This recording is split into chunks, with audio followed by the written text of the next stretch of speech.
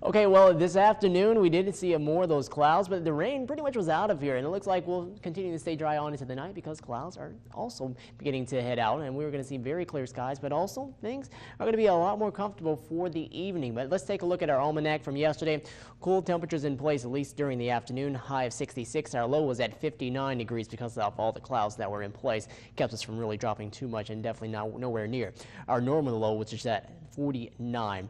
Our record high back in the year 2002 at 91. Our record low back in the year of 1982 at 29 degrees. And sunrise now at 718. Sunset at 817. Well, a look at your highs for today. 78 in Iron Mountain. Upper 80s or 70s also as you head into Escanaba. 77 in Manistique. 73 in Marquette. And lower 70 showing up across the Keweenaw Peninsula and the Porcupine Mountains. Winds breezy out of the west. 22 in uh, Houghton at 14 in Marquette. 12 in Munising and over in Ironwood at 16 miles per hour right now, but we are expecting those to weaken over the next hour or so, and that should really get out of here not only just for tonight, but Tomorrow it should be too breezy for us as we head on into the day.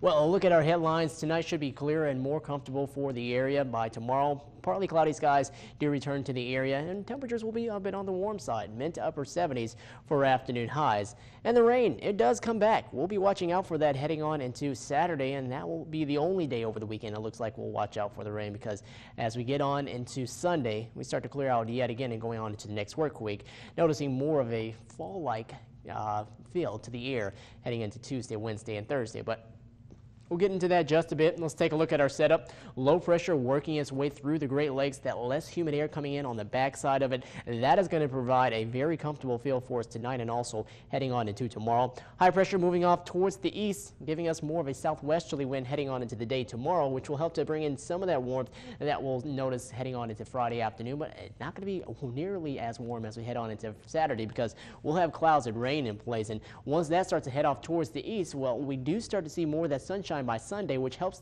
things to warm up. Probably keeping the uh, warmer air mass in place just one more day on Monday before really seeing that fall-like air come in by the latter portions of next week. But here's a look at your Futurecast model. Very clear for this evening and mostly clear tomorrow morning, but then we'll see a few more clouds throughout the afternoon. Clouds really building for tomorrow night. Slight chance of a few sprinkles, but really seeing the best chances come in as we head on into Saturday. And then by Saturday evening, seeing everything move off towards the east, quieting down. And then Sunday should not be too bad of a day for us.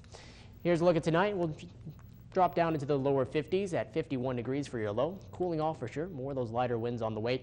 Tomorrow, a mix of sun and clouds with winds out of the southwest between 10 to 15. 76 in L'Anse at 75 showing up in Ontonagon. Upper 70s in Crystal Falls and in Iron Mountain. 75 in Escanaba and Manistique. Munising will top off at 77. Marquette at 75 and Florence at 77. The forecast tomorrow does feature uh, plenty of sunshine, especially earlier on, but then more clouds throughout the day. And then tomorrow night, watching out for some of those showers and storms to make their way in and definitely noticing more of them as we head on into the day on Saturday with a high of only 60 degrees. Now, Sunday will top off at 70 with more of that sun making its way back into the region. But look at next week. We start off more on the warm side at 74, but then afterwards, really cooling off. Tuesday, Wednesday, and Thursday, either in the upper 50s or the lower 60s. Not only just seeing the cool air during the day, but also noticing it at night as we'll dip down closer to that 30 degree mark as we'll dip all the way down to 43 degrees by Tuesday morning. So much cooler days ahead of us over the next few days. Yes, we do see more that milder air in place, except on Saturday, yes, because of the clouds and rain. Not going to be the best of days for us at all. But we do get one day, or we do uh, really start to at least see more of that sun as we head on into Sunday with temperatures warming back into the 70s before noticing more of that cooler air arriving by next Tuesday.